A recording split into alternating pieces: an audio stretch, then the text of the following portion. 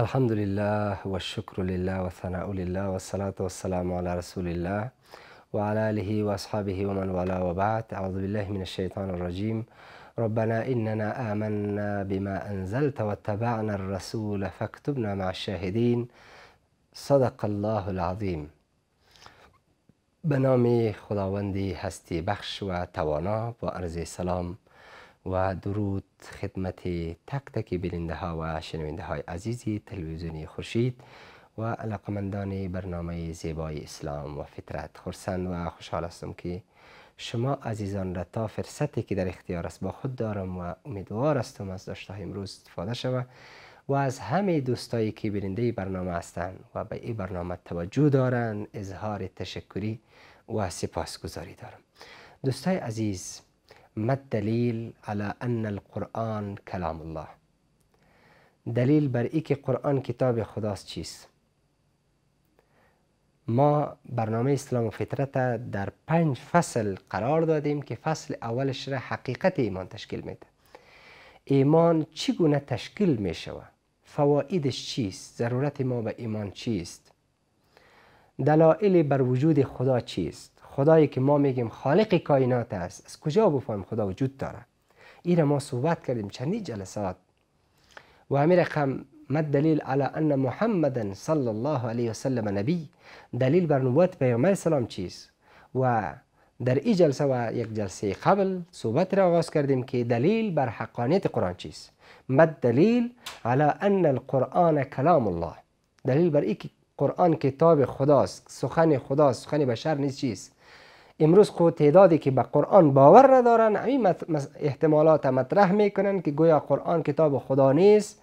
این کتاب محمد علیه السلام است که خودش نوشته یا یک عرب نوشته یا مجموعه عرب ها نوشته و یا هم غیر عرب یک دانشمندی پیدا شده از جای جای گرفته نوشته و یا هم از یک مصدری مجهول آمده معلوم آمده بالاخره نسبتش داده شده به خدا. امروز ما امی احتمالات را خواستیم جواب بدیم. احتمال اولش را در جلسه گذشته صحبت کردیم که ادامهش را با شما در این جلسه شریک می سازم قرآن کتاب خداست. احتمال اول که کتاب پیغمبر است به شش مورد رد میشه. چرا کتاب خداست از پیغمبر نیست؟ به خاطر که اسلوب قرآن و حدیث فرق داره. بین زمین و آسمان تفاوت است. دوم دوستای عزیز پیغمبر ما علیه السلام امی بود ناخان ولا تخطه بیمینک اذا لرتاب المبتلون. کسایی که انسان های بدبخت به تو نسبت دروغ و افترا را میته در حالی که تو قلم به دست نگرفتی چگونه امکان داره که یک شخص امی و ناخان یک کتاب را نوشته کنه که ایت نوع تناقض تعارض در اون نباشه؟ محال است.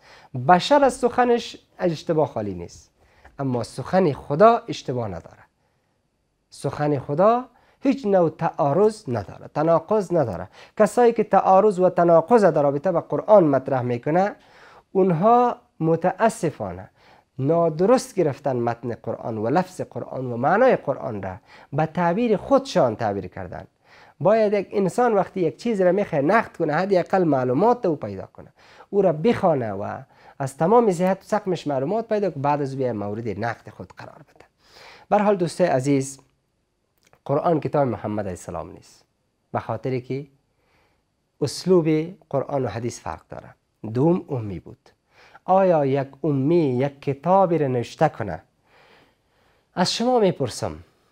امروز یک کس دوازده سال مکتب می‌خوانه چهار سال دانشگاه می‌خوانه دو سال ماستری می‌خوانه اگر در بخش طب باشه ببینید که پنج سال یا چهار سال و یا هشت سال حتی طب می‌خوانن.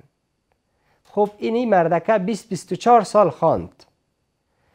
از هفت سالگی شروع کرد. فعلا سنش هم می‌رسه 24 و جمع هفت 31 سال.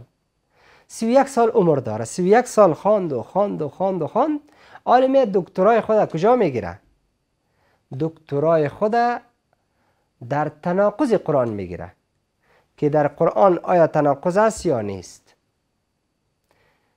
باور به خدا کنین که اینمی طبیبی که سی و یک سال عمر داره 24 سال درس خوانده می در قرآن صرف بحث می‌کنه بحث تناقضه. صرف بحث می‌کنه بحث علوم تجربوی را. صرف بحث می‌کنه بحث علوم انسانی را. بحث علوم اصلی را. بعد از قرآن می‌کشه کتاب نوشته می‌کنه دکترای خدا دفاع می‌کنه میگه من دکتر شدم. در یک گوشگه که قرآن کریم. تخصص پیدا کرد او را به شکل کاملش نه به لیاز خدا و قرآن.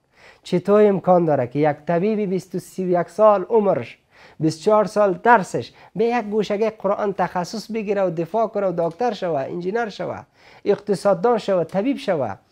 و باز ما بیم بگوییم که یک امی و ناخان ایت یک کتاب نوشته کرده که یک کس بیاد بخش طب از او تخصص بگیره.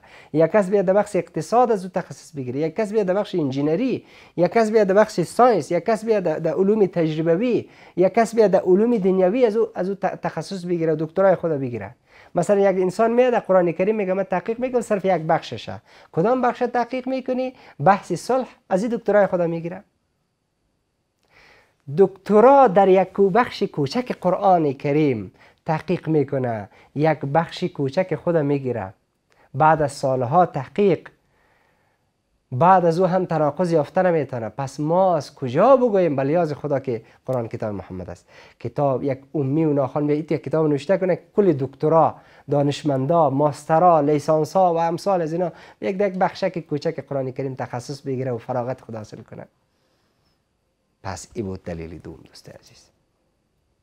که قرآن کتاب خداست و کتاب پیغمبر علیه السلام نیست چون که پیغمبر امی بود یک کتاب علمی یک کتاب بدون تعارض و تناقض یک شخص امی نمی‌تونه بنویسه. به جامعه تقدیم کنه که تا قیام قیامت امروز 14 سال 14 39 سال یا 40 سال از نزولش میگذره امروز هم یک کس وقتی در, در بخش قضا در بخش سالنوالی در بخش حقوق و در بخش تعلیمات اسلامی در بخش ادبیات در بخش ادبیات عربی و امثال از وقتی می‌خواد تخصص بگیره دکترای خود ماستری خودم یک بخش کوچک قرآن کریمه تخصص می‌گیره و مطالعه مورد مطالعه و بحث بررسی خود قرار میده و بعد میه یک کتابی را بیرون می‌کنه که اینی بحث ما در قرآن کریم تحقیق کردم. چطور امکان داره که در کتابی که خدا روان بنده نوشته باشه تمام دانشمنده در یک گوشکش تحقیق کنه و یک چیزی را بیرون کنه سوم دوست عزیز احتمال عقلی. گفتم رد بر احتمال عقلی که پیغمبر ننوشته خدا روان کرده. سومش قرآن کریم کتاب اعجاز علمی هست. قرآن کریم کتابی است که مملو از اعجاز علمی هست. ای که کدام موارد در ارتباط و اعجاز علمی قرآن کریم بحث شده اگر به خاطرتان باشه یک دو جلسه پیش ما کوتاه اشاره داشتیم و, و اکنون هم اشارات خاص داشتیم اما بعد از وقفه کوتاه. دوباره در خدمت قرار می‌گیریم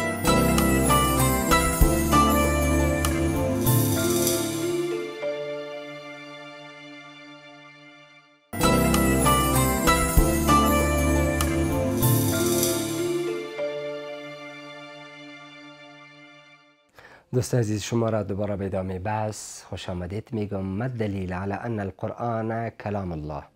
دلیل بر ای که قرآن کتاب خداست. دلیل حقانیت قرآن کریم چیست؟ احتمالات عقلی چهار چیز را میرساند. که یا پیغمبر نوشته باشه یا عرب یا یک مجموعه عرب ها یا عجم نوشته باشه غیر عرب نوشته باشه و یا هم از یک طریق مجهول و یا از یک طریق نامعلوم قرآن در دسترس قرار گرفته بده مردم مطرح شده باشه. هر چهار احتمال عقلی را ما صحبت می‌کنیم. بعد از او اگر یک انسان باز هم در حقانیت قرآن شک می‌کنه یا دیوانه است یا دشمن خبیث. دلیل اول که قرآن کتاب خدا نیست به شش مورد رد شد. مورد اول اسلوب قرآن و حدیث فرق داره. مورد دوم پیغمبر ما امی بود. چطور امکان داره یک امی و یک کسی که قلم به دست نگرفت بیا یک کتاب علمی نوشته کنه که دانشمندا بیا یک گوشه که تحقیق کنه و دکترای خدا بگیره ماستری خدا بگیره. سوم اجاز علمی قرآن کریم است. یک کسی که از مکه و مدینه بیرون نرفته بیای از آفتاب صحبت کنه از محتاب صحبت کنه. از انتشار کون صحبت کنه از به وجود آمدن کائنات صحبت کنه. اولم یر الذین کفروا ان السماوات والارض كانتا رتقا ففتقناهما. یا سلام. چی میگه؟ ای آیت چی میگه؟ آیا کفار نمی‌بینن ان السماوات والارض که آسمان ها و زمین کانتا رتقا با هم چسبیده بود؟ ففتقناهما. ما اینا را از هم جدا کردیم. و هی دخان و هی دخان آسمان و زمین کائنات میگه دخان بود دود بود. دخان یعنی گرد بود که ما ایر از هم جدا کردیم در یک جا در یک جا میگه چسبیده بود در یک جا میگه که به هم چیز بود. ایر از هم جدا کردیم. امروز علم ثابت می‌کنه که این دنیا در اساس تو یک حادثه به وجود آمده و قرآن کریم اشاره می‌کنه. چی تو یک آدمی که از جزیره بیرون نشده جزیره عرب او بیا بگوید که قرآن کریم به این شکل چیز کائنات به این شکل به وجود آمد. از انتشار کون صحبت می‌کنه. و السماء بنیناها باید و انا لموسعون. آسمان و زمین ما پیدا کردیم ما خود وسعت میتیم. امروز علم ثابت می‌کنه که بشر در صدد وسعت است. خلق خدا در صدد گسترش است. یعنی روز روز افزون است مخلوق خدا زیاد شده میره. و قرآن به گپ اشاره می‌کنه. همچنین از کروی بودن زمین قرآن کریم صحبت می‌کنه. از حرکت آفتاب و محتاب و الشمس تجری لمستقر لها ذلك تقدیر العزیز العلیم. پیغمبر از کجا می‌فهمید که محتاب و آفتاب حرکت می‌کنه؟ از کجا می‌فهمید؟ از کجا می‌فهمید زمین کروی است؟ از جزیره عرب بیرون نشده بود. پس فهمیده میشه که این قرآن اجاز علمی داره که امروز برملا میشه امروز دانشمندا بعد از سالها تحقیق به او حقیقت پی می‌برند پس بلا شک کتاب خداست. از ریاضیات بحث می‌کنه قرآن کریم از علوم هندسه از جل و جازمین شناسی و من الجبال جدد بید و حمر مختلف الوانه و غرابی بسود و من الناس والدواب والانعام مختلف الوانه كذلك انما يخشى الله من عباده العلماء. چه رقم بحث زیبا داره. از انواع کوها بحث می‌کنه از انواع زمین از انواع رنگ ها از انواع نباتات قرآن کریم بحث می‌کنه. از علوم طبیعی بحث می‌کنه از علوم تجربوی بحث می‌کنه. از کجا پیغمبری که از جزیره عرب نبر باشه به پا را با ما مطرح کنه؟ پس این کتاب پیغمبر نیست کتاب خداست. از علم طب بحث می‌کنه قرآن کریم. از علم اقتصاد بحث می‌کنه. قرآن کریم در رابطه با علم اقتصاد چی میگه جالب است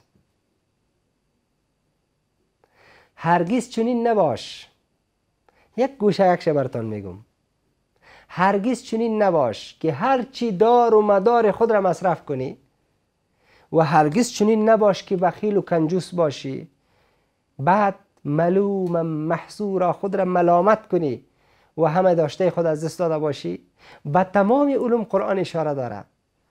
به علم فرهنگ به علم تمدن یگانه کسی که بانی مدنیت و تمدن و پیشرفت بشر شد پیغمبر بود قرآن خدا بود. حتی مدینه که به نام یسرب یک قریه کوچک وقتی میره نامش مدینه میمانه مدینه یعنی مدنیت تمدن پیشرفت. شهر نامش ماند. نامش مدینه ماند. پس دوستان حت عزیز به از انصاف نگذریم. عقل خود به کار ببریم.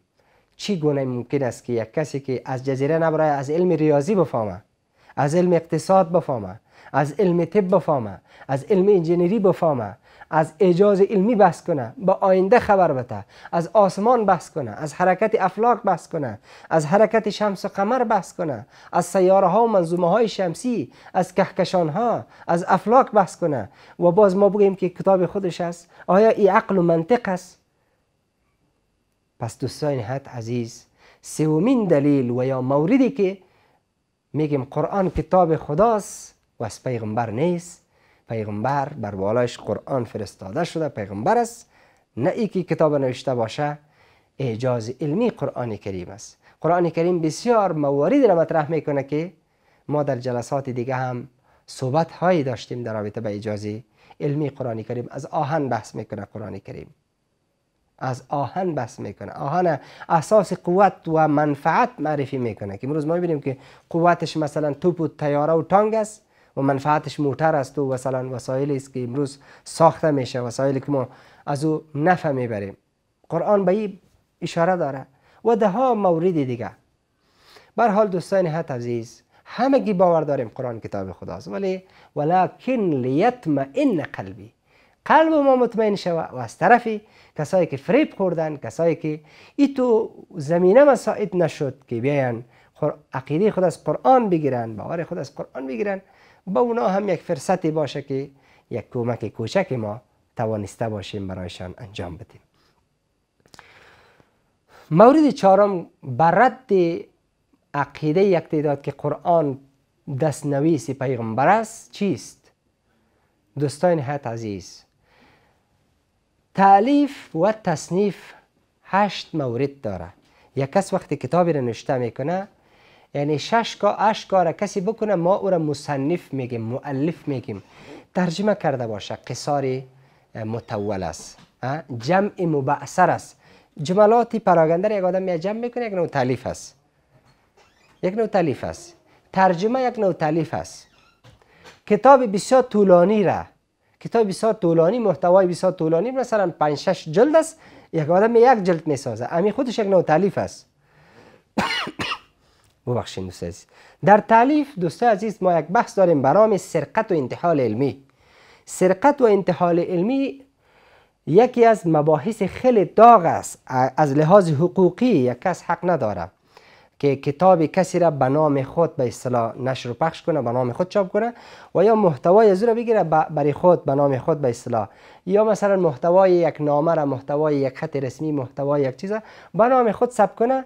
ای حتی حق داره. امون نفر که یادم بر بالایش عریضه بکنه و از تمام حقوق و امتیازاتش را محروم بسازه. بر حال ای که سرقت و انتحال علمی چیست که چهارمین دلیل بر رد احتمال عقلی که قرآن کتاب پیغمبر است سرش صحبت می‌کنیم. بعد از وقفه کوتاه. دوباره در خدمتتان قرار می‌گیریم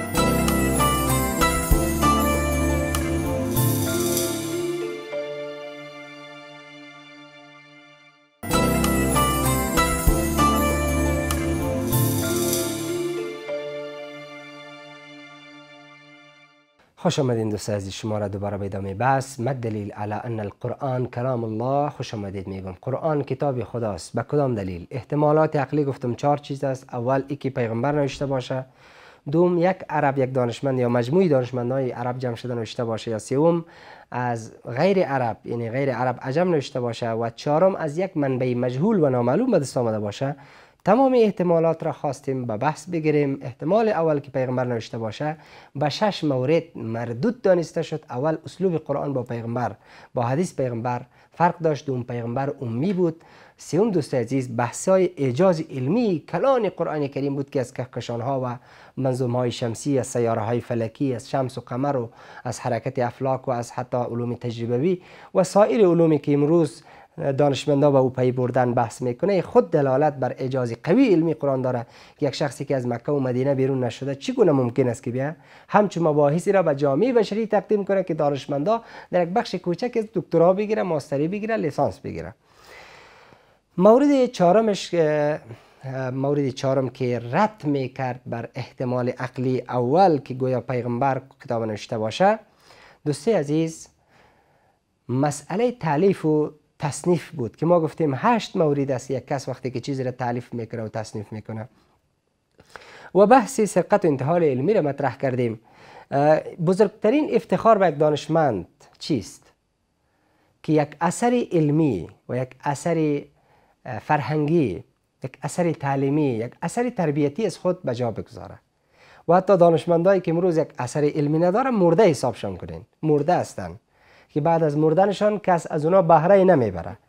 لذا اثر علمی بزرگترین فخر یک دانشمند است که بعد از وفاتش پیش از وفاتش حتی در طول تاریخ یک تفلک کوچک به یک گوشه که اثر علمی از استفاده کنه و از او سود ببره ثوابش به این می‌رسه. اگر چی امکان داره صدها سال مرده از یک قبر پوسیده باشه استخوانایش هم کرما چیز کرده باشه. ولی با وصف از او هم ثوابش به او می‌رسه. مثلا امام بخاری آمد کتاب نوشته نوشت به نام صحیح البخاری و صح الکتب بعد کتاب الله صحیح البخاری. صحیح ترین کتاب از کتاب خداست. امروز از وفاتش چند سال, چند سال میشه؟ دوازده سال میشه. بیشتر از دوازده سال از وفات امام بخاری میشه. ولی امروز هم وقتی که ما بخاری میگیم یک طفل هم می‌فهمه که والا بخاری یک شخصیت علمی کلان بود. ثوابش برش می‌رسه. پس شما چه فکر می‌کنین؟ یک آدمی که اثر علمی تاریخش حفظ کنه آیندهش حفظ کنه چنین جایگاه عظیم برش نصیب بکنه باز او بیا این اثر علمی را به نام کسی دیگه بکنه. آیا عقل ای را میپذیره؟ شرع میپذیره؟ منطق میپذیره؟ هرگز نه. وقتی پیغمبر بیا کتاب نوشته کنه کتابی که دانشمندا بیا در گوشه که دکترای خدا بگیره. باز بیا نسبت به خدا بتا محال است محال. که کتاب کتاب پیغمبر باشه. صد فیصد پیغمبر اگر ایره می نوشت چنین یک کتاب کلان علمی را نسبت به خودش می‌داد نمی گفت که از کسی دیگه است می گفت کتاب خودم است. هر دانشمند می تو یک کتاب علمی است که هیچ شکی دو نیست هیچ اشتباهی دو نیست. به این کتاب ما را بخوانین. کلان افتخار بود با پیغمبر سلام ولی چرا به نام خودش نمی‌کنه؟ پس این چهارمین دلیل بود. بحث سرقت و انتحال علمی دوست عزیز کلان عیب است که یک آدم کتاب خود به نام دیگه کس کنه و یا کتابی کس دیگه به نام خود بکنه. چه قسمی که امروز متاسفانه در همین صفحات اجتماعی بیاین یک بحثی داشته باشیم دوست عزیز که یک دانشمند میام یک مطلب علمی را پوست می‌کنه بعد از زحمت زیاد تلاش زیاد کتاب می‌بینه مطالعه می‌کنه بعد می یک مطلب علمی را پوست می‌کنه. صفحه خودش بعد می یک تعداد دیگه بدون از اینکه منبع را ذکر کنه نام نویسنده را ذکر کنه به نام خودش به اصطلاح ثبت می‌کنه. این خودش کلانترین جنایت است. و اگر وزارت اطلاعات و فرهنگ و تحصیلات عالی و میرقم با ریاست کدر کدرهای علمی اینا اگر بیاین امیت اشخاصی که محتوای یک کسی را کتاب یک کسی را مقاله یک کسی را به نام خود ثبت کنه. اینا را مورد پیگرد قانونی قرار بده. اینا امکان داره سالها در زندان بپوسن. پس چطور امکان داره که پیغمبر کتاب نوشته کنه؟ باز بیا نسبت شبه که دیگه بده. محال است دوست عزیز. چهارم پنجم مورد. قرآن کریم کتاب پیغمبر نیست کتاب خداست.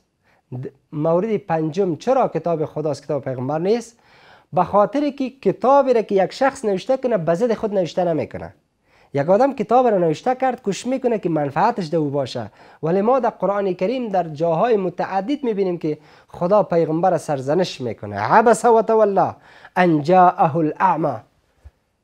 عبس پیشانی خود ترش کرد و پشت داد وقتی یک کور آمد یک نابینا آمد یک وفدی از قریش آمد پیغمبر امیدی از دید که شاید اونا مسلمان شود می‌خواست اونا را دعوت بکنه.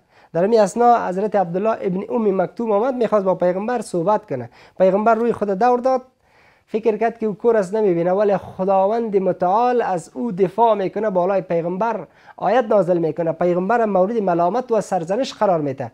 چطور امکان داره یک آدم کتاب خود خودش کتاب نوشته کنه خودش رد کنه؟ خودش بد بگویه خودش سرزنش کنه خودش ملامت کنه؟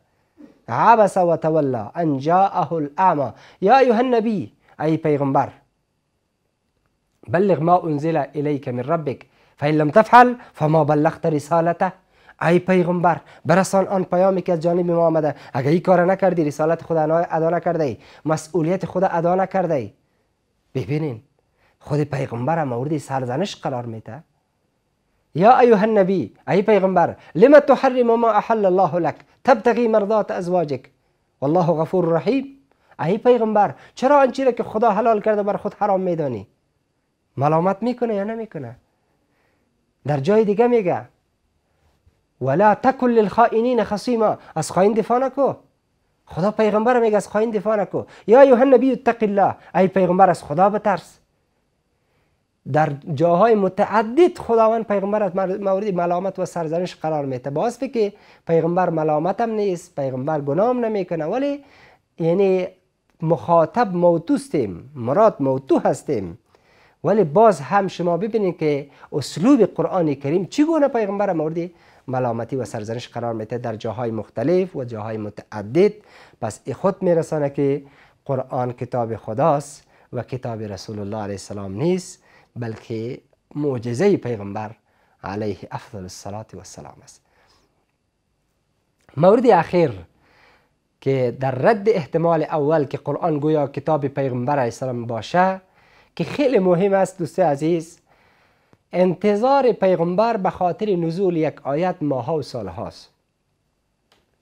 بارها قضایای مطرح میشه که پیغمبر ماها منتظر نزول یک آیت است و مشرکین منافقین کفار مورد تعنه قرار میتن مورد ملامتی قرار میتن. ببین پیغمبر خدا اشقار کرده بر بالاش آیت نازل می‌کنه. ببین روابط به امرایش تیره ساخته. ببینین مسئله افک تهمتی که به حضرت عایشه صدیقه بسته شد. پنجاه روز پیغمبر رنج برد.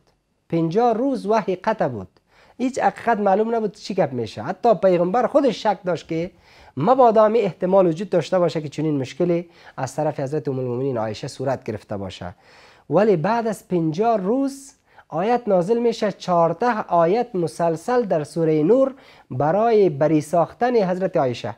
براعت و پاکی و طهارت حضرت عایشه سیبه خداوند از فوق عرش ثابت می‌کنه سبحان الله آیا اگر کتاب پیغمبر می بود در گوشگک می‌رفت نوشته می‌کرد یک پنجش آیت که پیغمبر حضرت عایشه گناه نکرده معصوم است. پنجاه روز منتظر است. پیغمبر پنجاه روز حیران است. چی کنه؟ تا که آیت نازل میشه. مشرکین سرزنش می‌کنه به ناموسش تجاوز شده. به ناموس پیغمبر توهین شده. به ناموس پیغمبر تهمت شده. ولی تا پنجاه روز نمی‌تونه از خود دفاع کنه. اگر کتاب خودش می بود می‌رفت یک گوشگک میشیشت یک چند آیت نوشته می‌کرد می‌گفت نه خلاص خانمی ما پاک است و مبراست. پنجاه روز بعد خدا آیت نازل می‌کنه. و همچنین دوستای عزیز ده ها موارد دیگه است. که پیغمبر حتی شش ماه وحی قطع شد به نام فترت. شش ماه وحی سلسله وحی قطع میشه. مشرکین شب و روز پشت پیغمبر تبلیغات می‌کنن که پیغمبر نیست خدایش قار کرده. ببین گپ ما را جواب داده نتونست سوال ما را جواب داده نتونست. اگر پیغمبر ما خودش کتاب نوشته می‌کرد چرا در گوشه رفته آیت نوشته کرده به مردم نمی‌داد؟ این گپ مردم چرا سر خود تحمل کرد؟ چرا اینقدر تعنه و کیانه و تهمت گپ مردم سر خود تحمل کرد و شش ماه انتظار کشید تا که خدا از فوق عرش نازل می‌کنه؟ پس شش مورد دوستای عزیز رد می‌کنه که قرآن کتاب پیغمبر نیست. کتاب خداست. کسی که عقل داره فکر داره میدانه کتاب خداست. انشالله ادامه ای بحث رو احتمالات بعدیش رو با شما در جلسات آینده شریک می‌کنم. از اینکه فکر می‌کنم وقتی برنامه ما تمام است ناگزیر با شما خدافزی کنیم. از همه تان تشکری می‌کنم که بیننده ای برنامه هستین و به ای برنامه توجه دارین. شما رو به الله بینیاز در بعد و برنامه بعد میسپارم. الله نگهدار. Thank you.